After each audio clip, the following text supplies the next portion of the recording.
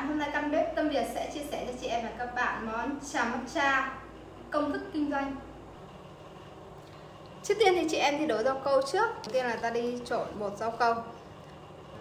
150g đường. Thường thì mọi người dùng rau câu dẻo nhưng mà em thì à, hôm nay em cho rau câu giòn. Rau câu nào cũng được cả nhà. Đây là một gói 25g nhưng mà em chỉ cho 12g thôi nhé cả nhà 12g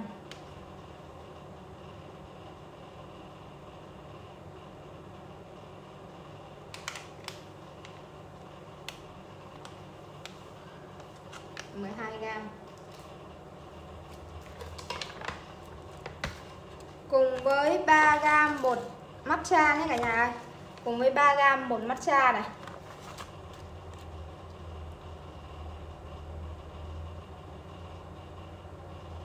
3 gram matcha. Bây giờ thì à, chị em trộn đều đây.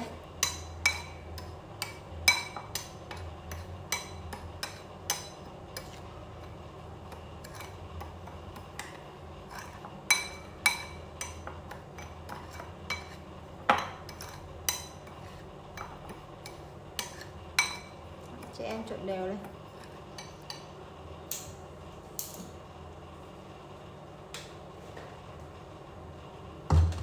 sau đó ta đi nấu nước nha cả nhà. Em sẽ cho một lít nước này. Bây giờ bắt đầu em đi nấu nước này.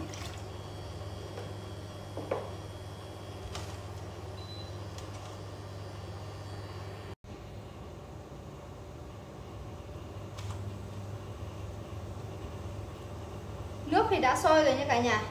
Khi mình nấu thạch á, thì nước phải sôi. Sôi cực sôi nhé bây giờ cả nhà cho tổng hợp đường và à, rau câu. Bột chào nhé cả nhà.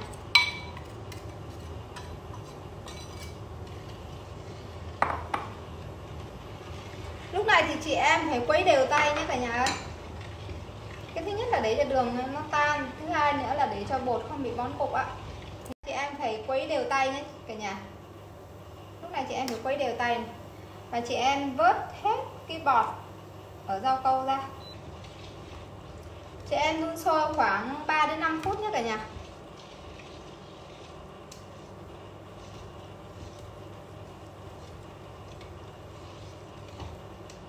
Rồi bây giờ thì chị em tắt bếp này.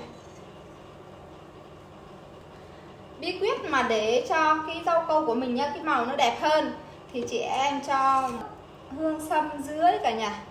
Hương sâm dứa vừa thơm mà màu nó lại đẹp nhé cả nhà xong rồi thì chị em hãy à, lọc qua một cái dây nhé lọc qua một cái dây để làm gì ạ? Để cho bột rau câu này và cái lợn gần của rau câu á, với lại à, bột trà trà matcha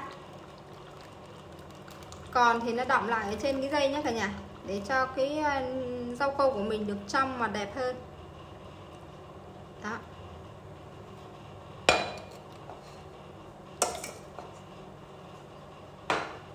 vậy là em đã xong à, rau câu. Phần rau câu là em đã xong nhé cả nhà. Bây giờ thì chị em để ở bên ngoài cho nguội và khoảng 30 phút cho nguội thì sau đó chị em bỏ ngăn mát. Thì bỏ ngăn mát thì chị em bỏ khoảng 2 tiếng là nó đã đông rồi nha cả nhà. Nấu trà nha cả nhà. Tôi cho một lít rưỡi nước. Một lít rưỡi nước. Ta pha trà nha cả nhà. Nồi nước sôi rồi thì bây giờ em sẽ cho là 25 lục trà xanh. Đó. rồi chị em múc một ít nước ra cái 3 gram của trà matcha. 3 gram của trà matcha nhé cả nhà. Múc một ít nước, quấy cho nó tan đều đi đã nhé cả nhà. Đó. rồi chị em cho vào đây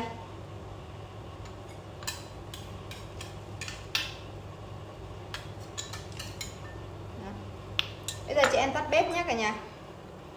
Chị em tắt bếp. Chị em nhớ cho một chút xíu muối để cho cái vị trà của mình được đậm đà ngon hơn nhé một chút xíu muối thôi nhé cả nhà ơi. Chút xíu. Chị em nhớ là lấy cái muỗng nhỏ này nhé cả nhà. Cho một chút xíu muối thôi. Sau đó chị em đậy vung lại này. chị em đậy vung lại thì ủ từ 20 đến 25 phút thôi nhé cả nhà. 20 đến 25 phút thôi chị em nhớ lưu ý một điều là không được ủ sớm quá mà cũng không được ủ muộn quá. Bởi vì sao ạ? Bởi vì sớm quá thì trà của mình nó chưa được ngấm và muộn quá thì trà của mình nó sẽ bị đắng. Nên là trà trà matcha của mình nó sẽ không ngon nhé cả nhà. Thì em nhớ là chỉ từ 20 đến 25 phút thôi. Mình kinh doanh là mình phải để ý một tí một, chứ không là trà nó không ngon là nó sẽ mất khách mất uy tín thì lần sau khách sẽ không mua. Nên chị em rất là cẩn thận khi mà mình pha công thức trà để mình kinh doanh nhé cả nhà. Cả nhà ơi, bây giờ là đã đủ 25 phút rồi nhé cả nhà. Và bây giờ em sẽ lọc vào đây. Tại vì cái cái túi lọc này của em nó hơi nhỏ ấy.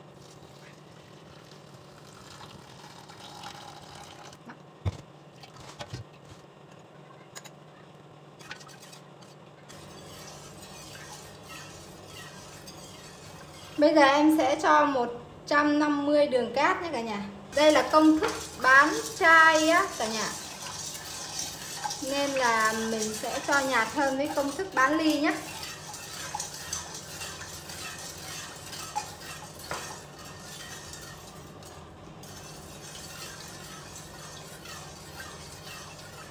Rồi tiếp theo em sẽ cho 100 sữa đặc này 100ml sữa đặc. Bột béo cái sữa bột béo này là để dành cho à, pha trà sữa nhé cả nhà. Đó. 100 100 g sữa bột béo.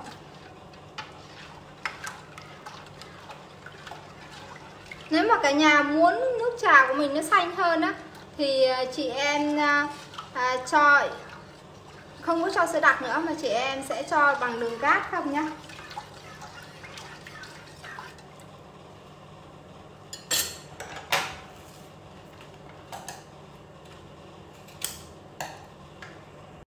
Giờ chị em sẽ cho 100ml dích lùn nhé cả nhà.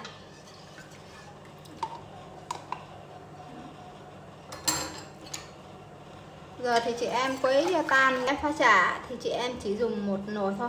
Cái nồi đó chị em không nấu đồ ăn Thì nó sẽ làm, vì nấu đồ ăn là nó sẽ làm mất cái mùi của vị trà đi nhé cả nhà. Nên là chị em sẽ à, nấu trà bán kinh doanh á, thì chị em sẽ pha một ừ, nồi thôi Không có dùng chung nồi nha cả nhà. Rồi tiếp theo chị em cho 200g đá thôi nhá. 200g đá để điều chỉnh cái độ à, độ của trà. Sẽ cho ra cái ca này để đổ vào chai á, cho dễ nhá cả nhà. Khay rau câu của em đã xong à đã đông rồi nhá cả nhà. Bây giờ thì em sẽ đi cắt ra.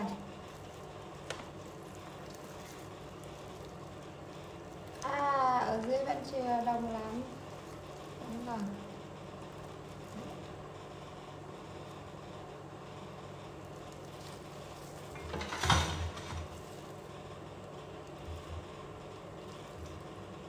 Do nhà em là không có chai vuông nên là em sẽ dùng cái chai tròn này.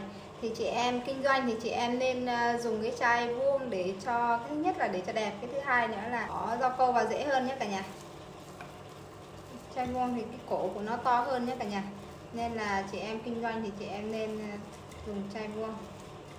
Màu rau câu rất là đẹp, đúng không cả nhà? Màu rau câu này rất là đẹp luôn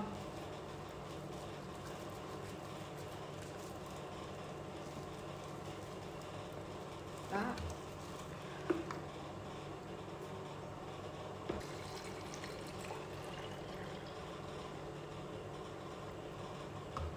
à, trà sữa matcha này thì à, chị em làm xong chị em chưa uống được liền đâu ạ.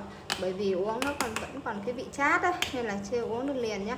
Chị em phải bỏ trong tủ lạnh ngăn mát à, từ 5 đến 6 tiếng thì chị em lấy ra uống rất là ngon nhé cả nhà. Đấy ạ. Là chỉ một chai như này thì chị em có thể là bán được 10 ngàn 15 ngàn rồi đúng không ạ? Vậy là buổi chia sẻ công thức làm trà sữa matcha đến đây đã hết. Cả nhà thấy video hữu ích thì hãy uh, cho căn bếp tâm điện một la.